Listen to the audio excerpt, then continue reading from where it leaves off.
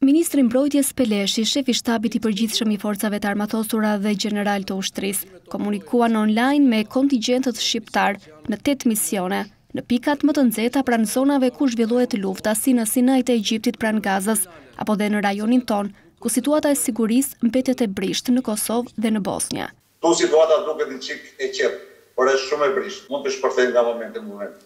Strukturat paralele serbe janë aktive zoti ministër, dhe janë shumë të egra. Kjo na bën që neve të rrisim shumë gatishmërinë. Vetëm në Kosovë, në misionin e NATO-s, Shqipëria përfaqësohet me rreth njëqind ushtarakë, por paqeruajtës të tjerë ne kemi në Irak, në Sudan të Jugut dhe së fundmi edhe në Bullgari.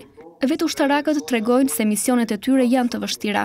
por familjet nuk duhet të shqetësohen këtë fundvit. Faza fillestare e konfliktit në Rripin e Gazës, situata ka qenë disi shqetësuese, për shkak sidomos në bazën e veriut dhe dhe këtu në jug. Situata tani është kthyer në normalitet në zonën tonë të operacionit. Bosnjë-Hercegovinë, Rrezikshmëria në këtë mision aktualisht është e vlerësuar në nivele të ulëta.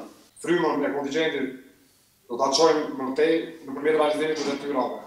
Efektivëve që shërbejnë në misionin e KFOR, ministri i Mbrojtjes u kërkoi të tregojnë vetëpërmbajtje, që të mos bien pre provokimeve dhe situatave që mund të krijohen. Jemi në dijeni të planeve edhe të vazhdimit të aktivitetit të grupeve kriminale, të cilat nuk është se veprojnë si ujq të vetmuar. Ndjekim me vëmendje edhe programet e pajustifikuara të militarizimit të shpejtë, për shembull, të të Serbisë, ndjekim me vëmendje situatën në Bosnjë, efektivët tanë në KFOR dhe do t'ju kërkoja që të jemi vazhdimisht të kontributorë të zellshëm, por dhe të përmbajtur nga ana tjetër, për të mos rënë pre e asnjë e asnjë provokimi aty, sepse situata është e nxehtë. Shefi i Shtabit të Përgjithshëm gjeneralmajor Kingji këshilloi ushtarakët e dislokuar të shtojnë vigjilencën këtë fundvit.